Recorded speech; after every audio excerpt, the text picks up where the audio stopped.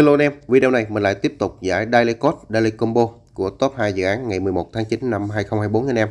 Đầu tiên là dự án Tomarket ha, đây là một dự án rất là ngon và được hỗ trợ bởi cái ví Bitget Wallet và sàn Bitget luôn.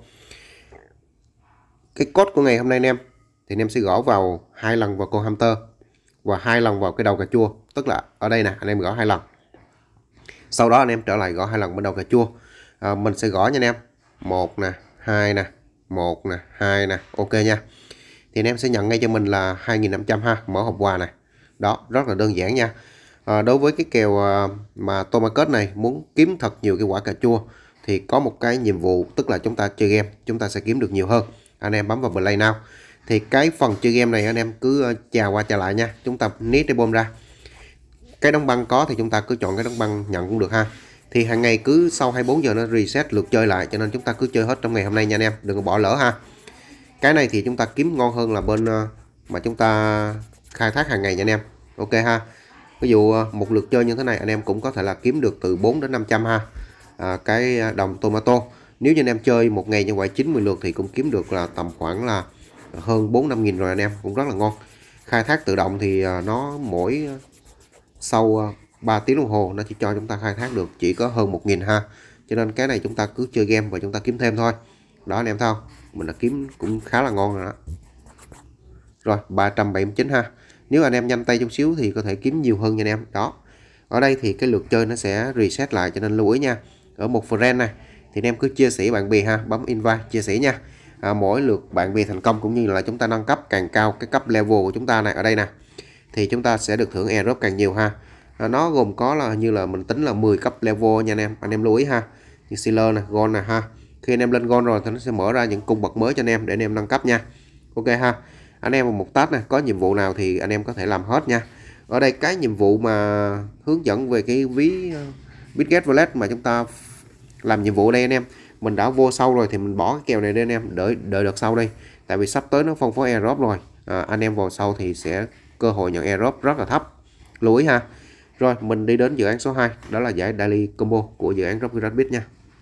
Rồi đối với Rocky Rabbit thì à, hôm hồi sáng này mình đã ra video hướng dẫn anh em cái cách mà chúng ta chơi trận chiến đấu ở đây nè. Anh em có cái thẻ ha. Đó.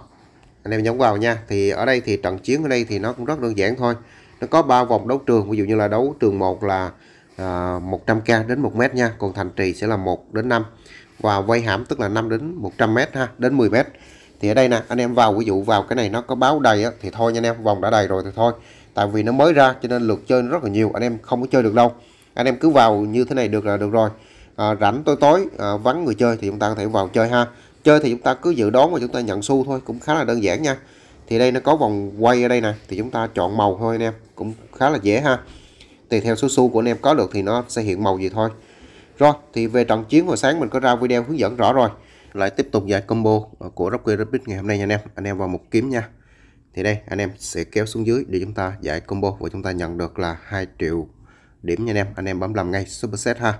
Cái thẻ đầu tiên nó nằm bên một chiến binh. Anh em kéo xuống dưới cùng này anh em chọn cho mình cái thẻ là tập luyện tinh thần ở đây, chọn superset nha. Ok, cái thẻ đã xong và cái thẻ số 2 và thẻ số 3 nó nằm bên một huấn luyện viên nha anh em.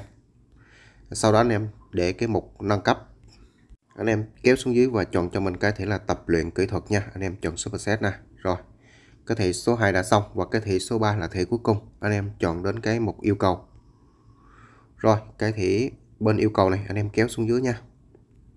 Đây, anh em tìm đến cho mình cái chức thể là tập luyện chặn ở đây nè. Đó, anh em à, chọn superset nha.